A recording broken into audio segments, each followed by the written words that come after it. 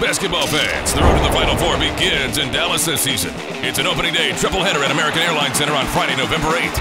Coach Larry Brown leads SMU against crosstown rival TCU.